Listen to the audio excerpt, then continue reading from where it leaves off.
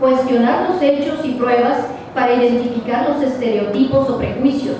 visualizar la presencia de situaciones de desventaja que permitan evaluar su impacto de forma diferenciada, aplicar los estándares de derechos humanos bajo la premisa de la interpretación y argumentación para fundar la valoración y decisión ante la desigualdad y además utilizar un lenguaje incluyente. Para trabajar en la consecución de estos contamos con una valiosa herramienta, el protocolo para juzgar con perspectiva de género, haciendo realidad el derecho a la igualdad. Este es un instrumento que fue creado por la Suprema Corte de Justicia de la Nación, el cual con pleno respeto de la autonomía e independencia judicial facilita a los juzgadores y juzgadoras la tarea de impartir justicia sin discriminación de los derechos y libertades fundamentales, haciendo efectivo lo que la Constitución señala respecto al principio de igualdad, lo cual favorece el dictado de sentencias con perspectiva de género. Hoy en día, a través de las 31 unidades administrativas de igualdad y derechos humanos de los tribunales superiores y supremos de justicia en el país,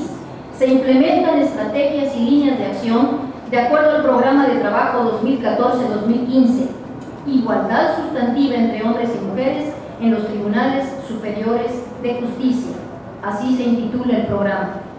Esto ha sido a cargo de la Comisión de Igualdad de Género de la CONATRIP, en el que una de sus acciones básicas fue la creación de los órganos internos en la materia que ya trabajan coordinadamente para transformar nuestra visión como operadores de justicia ante los problemas sociales.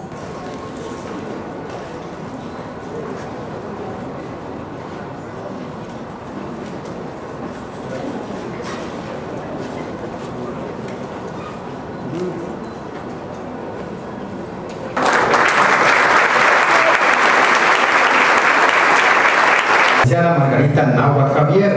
el licenciado Adrián Fernando Novelo Pérez, la licenciada Janet Castro Lara, el licenciado José Luis Palacios Martínez, la maestra Ligia Rodríguez Mejía y la licenciada Olga Tatua Sánchez. Respetuosamente, cedemos el uso de la palabra